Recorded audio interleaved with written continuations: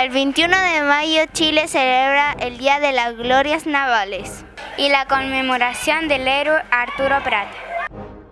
El combate naval ocurrido en Iquique representó el hecho más importante de la Guerra del Pacífico. Y aunque Chile no sea lo victorioso, se conmemora el heroísmo de muchos hombres valientes que lucharon por nuestro país.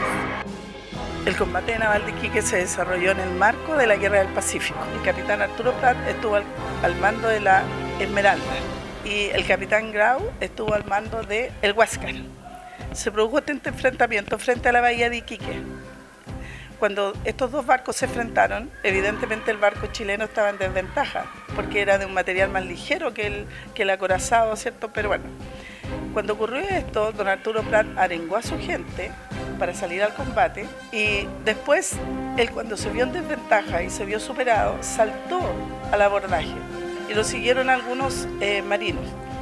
Luego él fue herido de muerte en la cubierta de este barco y la Esmeralda posteriormente fue hundida. El heroísmo de Pratt fue una cosa que tuvo una repercusión mundial en el marco de esa guerra, porque por su valor, por ser consecuente con sus valores patrios, por eso es tan importante.